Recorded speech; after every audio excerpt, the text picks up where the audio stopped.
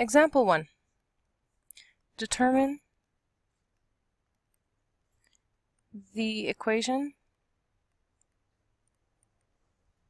of the vertical asymptote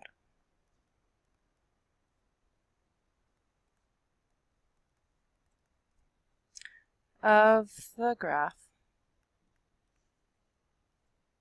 of y equals 1 over 4x minus 3.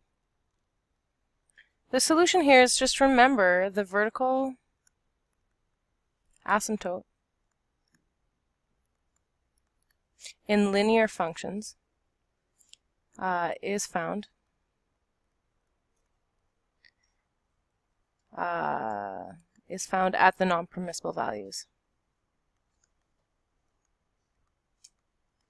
So 4x minus 3 can equal 0. That would be the non-permissible value for this rational function.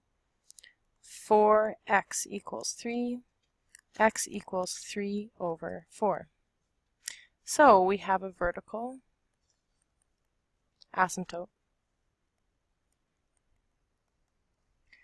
at x equals 3 over 4.